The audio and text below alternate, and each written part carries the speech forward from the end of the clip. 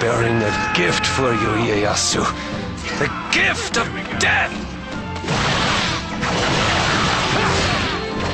I knew this would be no challenge for someone as great as you, Mitsunari.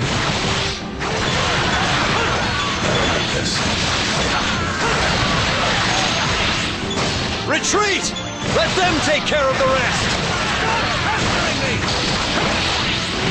Surely it couldn't be human. Or, if it is, he must be possessed.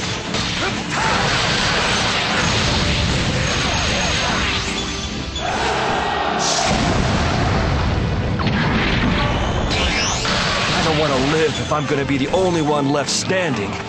Always be on guard. Well, you never fail to do so. I shall have your head for siding with the Ieyasu, willing to lay down your life for his!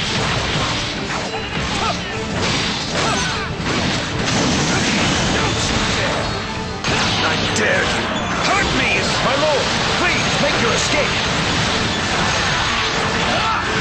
Is that all you need? I wouldn't want you to hold back and regret it later. So, you made it.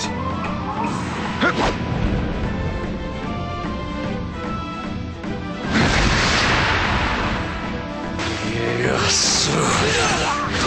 Ieyasu! Would you champion hatred, Mitsunari? I nursed these sins of old. No need to hesitate. Come on, defeat me!